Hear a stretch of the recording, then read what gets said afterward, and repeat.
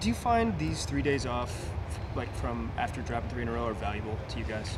Yeah, definitely. Whenever you're losing games, um, it's important that you have some practice time. Not a lot of practice time in the NBA, obviously, with the scheduling, and then you know working on things, trying to improve some deficiencies, trying to get better at some things that you're already good at, and it gives coaches some time to have that creative freedom to where we can get up and down a little bit and run and, and do some stuff you wouldn't normally do because you got back to backs or four and six nights. And I think we play but every Saturday this month or something like that. So not going to be a lot of time for practice after these few days. What were some of the stuff you did that you don't normally do today? Um, we got into some four on four. We haven't played four on four on four in a little while, so we did some of that. Um, some two on two, you know, defending defending ball screens, defending uh, different actions in two on two. Uh, we got some shooting in the beginning of practice. Did you get a sense of where Nurk's at?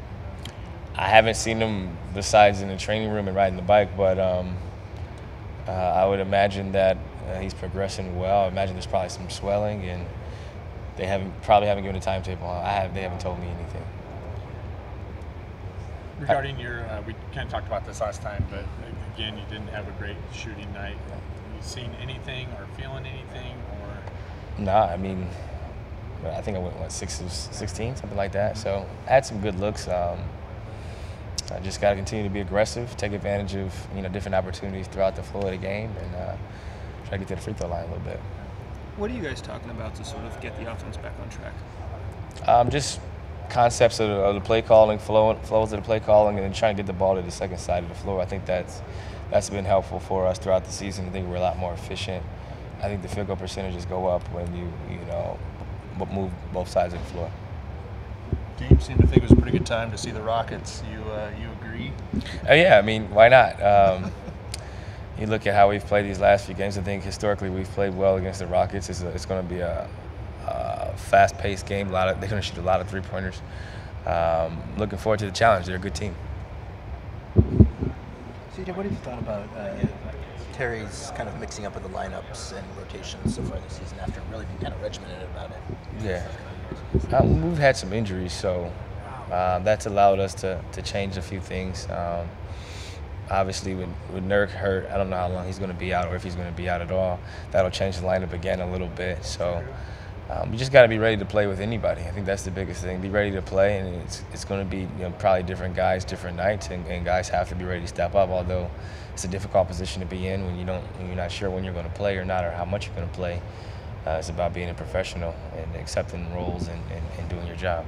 How would you describe the mood of the team right now? Is it business as usual, or do you sense? Yeah, I mean, we had a few, we had a day off, so um, I would say it's pretty much business as usual. Guys come and get their work in, get their shots up, get their lift in, treatment, and then uh, go on about their day.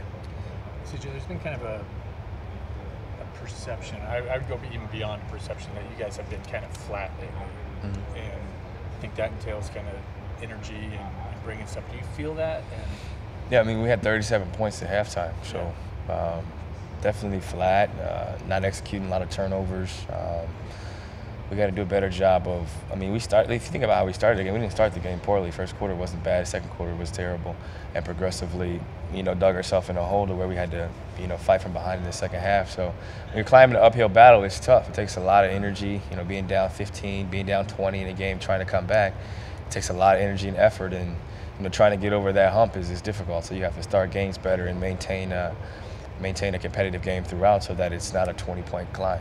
Where do you think being flat stems from? I don't know. I try to play as hard as I can. I do the same stuff every day. I'm sure a lot of guys have similar routines to where uh, sometimes there's there's no answer.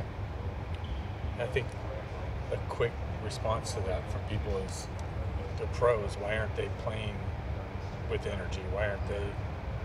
I don't think energy is the issue. I think guys are playing hard, and I would equate it to, you know, everyone has different jobs, different careers, different professions to where sometimes it's just a bad day or it's just a bad couple days and you may be sick, you may have injuries, there's things that go on that you guys may not know about that could affect people. I don't know for sure, but some people have normal lives to where stuff happens and it comes up and it can affect your play.